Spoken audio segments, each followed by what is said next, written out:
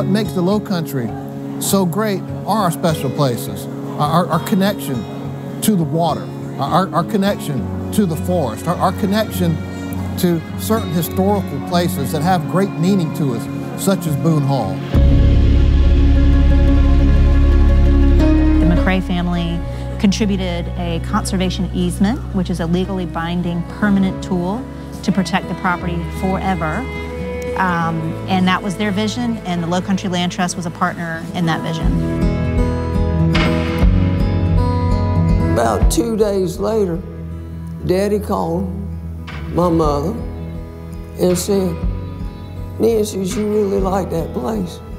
She says, Oh, yes. It's the most beautiful place I've ever seen in the world. He said, Well, Nancy, I bought it for you. Meant a lot to me back then. It was magical and mystical. And now, with this conservation easement, I hope it'll be that way right on for many a future generation here at the plantation. Thank you so much.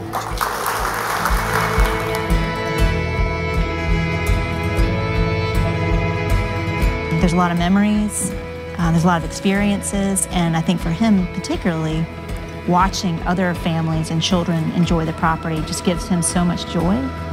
And that's what this is about. That's what Boone Hall is about. That's what conservation is about.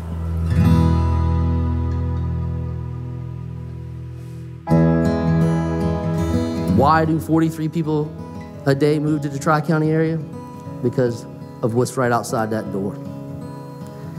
The land in our community is so much a part of our culture. The two things cannot be split. The good and the bad of our society revolves around the land. The Low Country Land Trust has a unique role. It's one of several conservation uh, organizations in the Low Country, but it's the only one that is committed only to the preservation and protection of land under conservation easements. The way I like to put it, we're the organization that has the boots on the ground.